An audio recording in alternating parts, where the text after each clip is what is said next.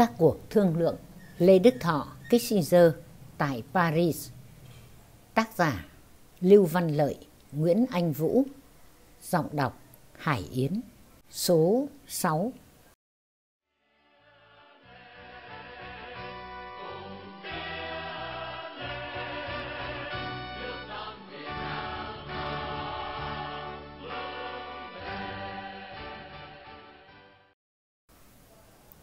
Do đó, cuộc họp sẽ gồm có Việt Nam Dân Chủ Cộng Hòa, Mặt trận Dân tộc Giải phóng miền Nam Việt Nam, Hoa Kỳ và Việt Nam Cộng Hòa. Phía Mỹ vui mừng thấy ta nhận không ghi chữ, không điều kiện và mọi hành động chiến tranh khác. Về việc ký biên bản, Vance nói rằng Harriman và cả ông ta nữa sẽ thay mặt chính phủ Mỹ. Phía ta, Bộ trưởng Xuân Thủy Harriman hứa sẽ báo cho ta rất sớm ngày Mỹ chấm dứt ném bom miền Bắc. Thiệu chống Johnson Trong hồi ký, LB Johnson viết Khi chúng ta đạt được sự sắp xếp với Hà Nội thì sự hòa hợp với Tổng thống Thiệu lại tan vỡ. LB Johnson Trang 621 Suốt trong quá trình hội đàm ở Paris với Việt Nam Dân Chủ Cộng Hòa, Washington đều thông báo cho Sài Gòn nội dung và diễn biến các cuộc nói chuyện. Mọi người đều thấy giữa Washington và Sài Gòn từ lâu đã có nhiều mâu thuẫn. Tháng 7 năm đó, Johnson và Thiệu đã gặp nhau ở Honolulu để bàn bạc và dàn xếp. Những người Việt Nam, tức Thiệu, đã chấp nhận lập trường của chúng ta đến giữa tháng 10 và sau đó nữa trang 621. Ngày 28 tháng 10, Thiệu còn nói với đại sứ Mỹ ở Sài Gòn rằng không thể đòi hỏi hơn được nữa. Nhưng hôm sau, Thiệu đòi thêm thời gian và bảo đảm để họ có thể nói chuyện với Hà Nội chứ không phải với mặt trận dân tộc giải phóng. Hai đòi hỏi đó là không thực tế. Người Nam Việt Nam biết rằng chúng ta phải tuyên bố về chấm dứt ném bom. Tác giả vào lúc 20 giờ ngày 31 tháng 10, sau 19 giờ, Bân Cơ báo cho chúng ta rằng Thiệu còn đòi thêm hai điều kiện sửa đổi nữa. Chúng ta buộc phải đi một mình. Ai cũng biết rằng tập đoàn Thiệu Kỳ không thể tiếp tục chiến tranh nếu mất sự chi viện, tinh thần, chính trị và vật chất của Mỹ.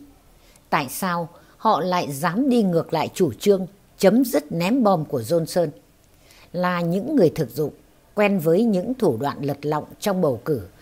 Họ không thể không hiểu thế của Đảng Dân Chủ trong năm bầu cử đã giảm sút sau Tết Mậu Thân và họ tính toán đến người sẽ thay thế Tổng thống Johnson.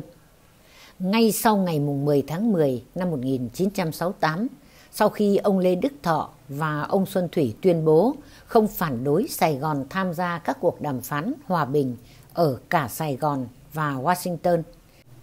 Các ông cố vấn dân sự và quân sự của Johnson đều thống nhất thúc giục phải nhanh chóng nắm lấy cơ hội này. Trong một bức thư bạn đọc đăng trên báo New York Times ngày 13 tháng 6 năm 1991, William Bundy với tư cách trợ lý ngoại trưởng phụ trách Đông Á Thái Bình Dương từ 1964-1969. Tổng biên tập tờ đối ngoại từ 1972 đến 1974 đã tham gia các sự kiện hồi tháng 10 năm 1968 cho biết Tổng thống Johnson đã thông báo cho ba ứng cử viên Tổng thống là Nixon, Humphrey và Wallace biết thỏa thuận mới về sự tham gia của chính quyền Sài Gòn.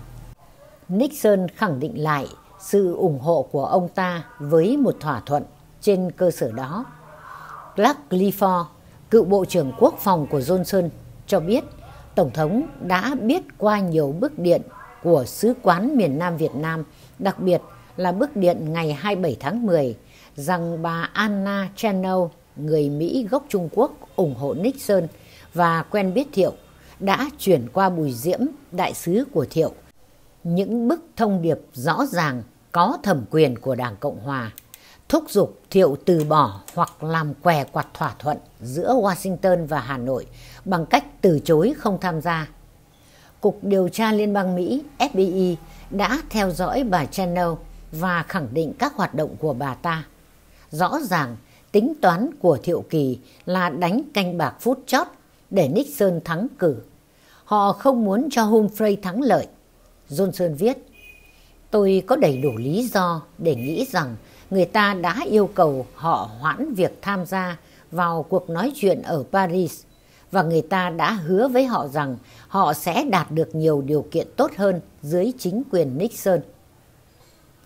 B. Johnson, trang 622-624 Ở Paris, đoàn Mỹ mừng đã đạt được thỏa thuận với Việt Nam Dân Chủ Cộng Hòa nhưng rất lúng túng trước thái độ của Thiệu Kỳ. Đêm 29 tháng 10, Johnson phải gọi cấp tốc tướng Abraham về để tham dự cuộc họp bất thường với các cố vấn thân cận của Nhà Trắng lúc hơn 2 giờ sáng tại Paris. Group Vance đã phải hoãn cuộc họp với Hà Văn Lâu hai lần. Lúc đầu dự định vào 16 giờ, sau hoãn đến 18 giờ, rồi đến 20 giờ. Đây là một cuộc họp khổ sở cho ông ta. Vừa bước vào phòng họp, ông ta đã yêu cầu Neropond, thư ký, báo ngay số điện thoại nơi họp về sứ quán Mỹ. Ông tỏ ý tiếc phải hoãn cuộc họp và nói Tôi biết các ông bận mà chúng tôi cũng bận. Rồi ngồi im đợi ta nói. Hà Văn Lâu hỏi Ngài đã có tin gì chưa? Văn Có. Lần trước khi về chúng tôi đã điện ngay cho chính phủ chúng tôi. Nhưng ông rõ mỗi bên chúng ta đều có chuyện phức tạp phải giải quyết. Chúng tôi có nhiều yếu tố phải giải quyết, nhiều sự trao đổi phải làm, thời gian lại tranh nhau nhiều. Hôm nay tôi đang chờ chỉ thị. Nghĩa là bây giờ ông chưa có tin? Vâng. Văn đáp rồi ngồi im. Còn quá ít thời giờ. Hà Văn Lâu nhận xét. Vâng, tôi hiểu. Đại sứ Văn đáp rồi lại im lặng. Khi hỏi về việc ký biên bản, Văn nói ông hy vọng sẽ được tin vào đêm khuya nay hoặc sáng sớm mai. Tôi không dám đảm bảo. Rồi lại im lặng. Habit ngồi bên cạnh, nhắc Van cáo từ ra về. Nhưng ông này hình như không nghe thấy gì. Vậy lúc nào thì ông có tin? Hà Văn Lâu hỏi. Tôi không thể nào nói chính xác được. Van ngừng lại. Washington đang làm việc rất khẩn trương, rồi ngồi im. Lần thứ hai Hamid nhắc ông ra về, ông ta vẫn ngồi đó. Nếu ông thấy khó khăn thì ông cho chúng tôi biết, ông Lâu nói. Van ấp úng, tôi hy vọng đêm nay hoặc sáng mai. Cả Hà Văn Lâu và Nguyễn Minh Vĩ đều nói, nếu các ông thật có khó khăn thì cứ cho chúng tôi biết, chúng tôi sẽ chiếu cố. Van và Habit cảm ơn dối rít và nói đó sẽ là một thỏa thuận quân tử. 23 giờ, phía Mỹ xin gặp lại ta. Nửa giờ sau, Habit đến báo cho Hà Văn Lâu biết là Mỹ không thể chấm dứt ném bom vào 0 giờ giờ GMT ngày 30 tháng 10 được. Và hôm sau cứ họp ở Colenbeck như thường lệ. Mặc kệ thiệu. Thất vọng quá đáng. LG Johnson trang 626 Vì sự lần khân của Thiệu, Johnson không đợi được nữa. Nửa đêm 30 tháng 10 năm 1968, đoàn Mỹ xin gặp ta. Hơn nửa giờ sau, Harriman, Vance, Habit cùng những người giúp việc kéo đến nơi ở của đoàn ta, nhà số 10, phố Đan Thơ, vùng Choiky Lejoy. Cuộc họp bắt đầu hồi 1 giờ 30 và kết thúc sau đó 1 giờ. Harriman đọc Tôi được phép tuyên bố với ngài rằng Tổng thống sắp sửa ra những mệnh lệnh vào buổi tối ngày 31 tháng 10, tức 7 giờ hoặc 8 giờ giờ Washington. Theo giờ GMT là 24 giờ GMT ngày 31 tháng 10 hoặc 1 giờ sáng ngày mùng 1 tháng 11 để chấm dứt mọi cuộc oanh tạc bằng không quân, hải quân và pháo binh và mọi hành động khác liên quan đến việc dùng vũ lực chống toàn bộ lãnh thổ nước Việt Nam Dân Chủ Cộng Hòa. Những mệnh lệnh đó sẽ hoàn toàn có hiệu lực 12 giờ sau đó. Tổng thống sẽ có một công bố về hành động này vào khoảng khi những mệnh lệnh này được ban hành. Cuộc họp như đã thỏa thuận sẽ không tiến hành trước ngày 6 tháng 11 năm 1968. Hành động này được tiến hành trên cơ sở các cuộc nói chuyện của chúng ta đã có, có tính đến những điều các ông đã nói và những điều chúng tôi đã nói. Đoàn Việt Nam hội ý khi trở lại họp, Bộ trưởng Xuân Thủy đọc một bản chuẩn bị sẵn, tóm tắt công việc từ 6 tháng nay, nhấn mạnh rằng phía Việt Nam luôn đòi Mỹ chấm dứt không điều kiện việc ném bom nước Việt Nam Dân Chủ Cộng Hòa và qua tuyên bố của Hariman, phía Việt Nam hiểu như vậy là không điều kiện. Các ngài đã nói thực chất không có một điều kiện có đi có lại nào và còn nói trong tất cả các tuyên bố của Hoa Kỳ không một chỗ nào có chữ có điều kiện. Như vậy, chúng tôi khẳng định là Hoa Kỳ chấm dứt ném bom không điều kiện.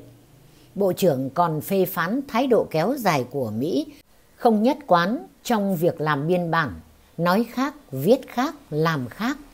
Xuân Thủy tuyên bố không cần ký biên bản thỏa thuận, đồng ý họp bốn bên không trước ngày mùng 6 tháng 11 năm 1968 và đòi Mỹ phải thực hiện đúng những điều đã thỏa thuận.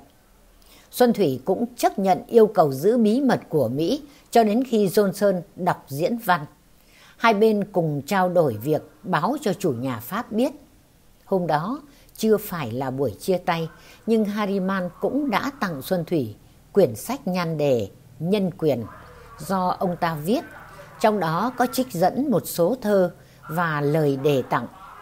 Kính tặng Bộ trưởng Xuân Thủy, nhà thơ, Paris, ngày 31 tháng 10, 1968. Mọi người đều vui vẻ. Ngày 31 tháng 10, Johnson vẫn đợi, tuy không nhiều hy vọng, rằng Sài Gòn sẽ cùng tham gia với Mỹ vào bản tuyên bố chung. Nhưng Thiệu vẫn đưa ra những đòi hỏi quá đáng. Cuối cùng, Đến 20 giờ, ông ta đành phải đọc diễn văn về chấm dứt ném bom Bắc Việt Nam. Johnson hy vọng rằng con chủ bài này sẽ nâng cao hình ảnh của ông ta và uy tín của ứng cử viên Humphrey. Điều đó đúng, nhưng đã quá muộn. Ngày 6 tháng 11, Nixon ứng cử viên Đảng Cộng Hòa đã trúng cử Tổng thống Mỹ với 43,3% tổng số phiếu còn Humphrey chỉ thua sát nút ông ta 42,7%, kém Nixon 500.000 phiếu, 0,6%. Nếu như Johnson chấm dứt ném bom miền Bắc sớm hơn 5-7 ngày thì có lẽ tình hình đã khác. Đến đây kết thúc một giai đoạn của cuộc đàm phán Việt-Mỹ. Chương 3 Để khởi động hai kế hoạch hòa bình Nixon trước hậu quả của thất bại Tết Mậu Thân. Tổng thống Richard Nixon thừa hưởng của L.B. Johnson, cuộc chiến tranh chết chóc ở Việt Nam cùng những vấn đề gây cấn khác. Ông coi cuộc chiến tranh ở Đông Dương là vấn đề đối ngoại cấp bách nhất và một giải pháp ở Việt Nam là chìa khóa cho mọi chuyện. Hồi ký Richard Nixon xuất bản 1978, trang 347-391 Win-Win Việt Nam trân trọng cảm ơn quý vị và các bạn đã quan tâm theo dõi. Xin kính chào tạm biệt và hẹn gặp lại.